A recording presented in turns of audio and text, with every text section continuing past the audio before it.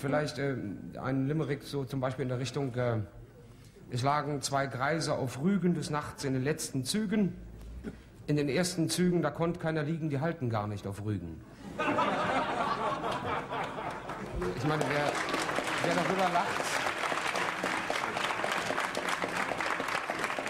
Oder ich könnte sagen, es war eine Dame in Dorsten, die hatte am Leib lauter Borsten. Nach der Schonzeit im Mai gab ihr Gatte sie frei zur Jagd in den städtischen Forsten. Oder,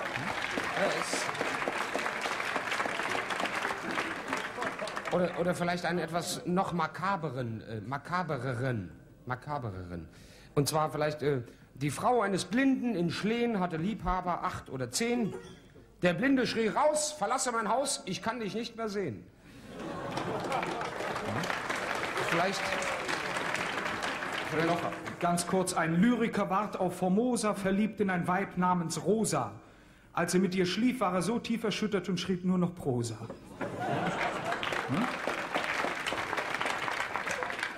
Oder noch einen sehr dramatischen, äh, einen sehr, ein Senilyrik. Das ist eine sehr spezielle Form des Limericks.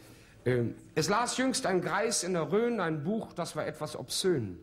Er sprach, das ist widerlich, entsetzlich und liederlich, voll Schmutz und obszön, aber schön.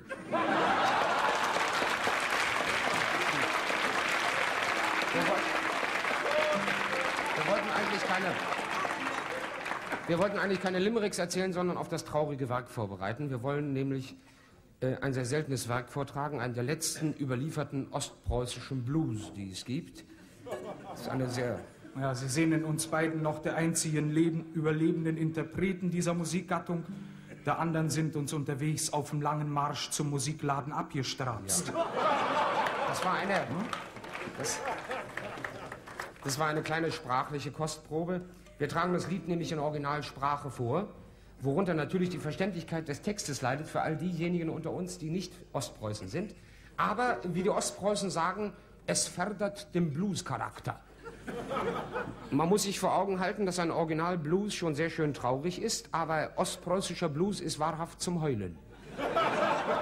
Hier darf also, wen es überkommen sollte, der, der- darf ruhig mitweinen. Nicht? Das Lied hat auch schon einen sehr traurigen Titel. Es heißt Versehnung Never. Das kann man auch ins Ostpreußische übersetzen, heißt es so viel wie Vereinigung überhaupt nicht. Los.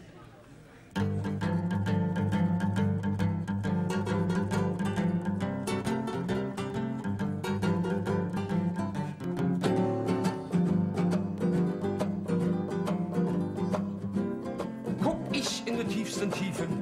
Meiner Kinderzeit hinab, steigt mit Vater und mit Mutterchen. Auch ein Hund aus seinem Grab.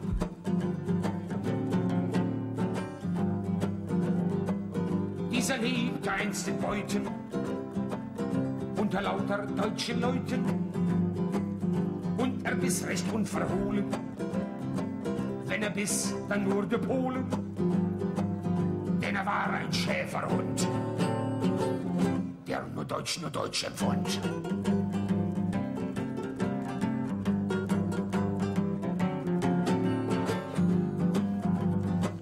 Ach, er sprang wie ein Blitz Er sprang oft wie ein Blitz durch das deutsche Katowice. durch das deutsche Katowice. Auch in Breslau sah man ihn Auch in Breslau sah man ihn wachsam durch die Straßen ziehen. wachsam durch die Straße. Und alle Deutschen freuten sich, mein Gott, wie freuten sich die Deutschen. wenn durch Leobschütz er schlich.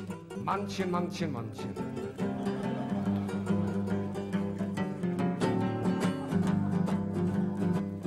Eines Tages haben Polen Stammbaum weggestohlen. Da der Stammbaum nicht mehr da, starb der Hund am Prostata und nun jen auf lauten Sohlen über sein glaubrechte Polen.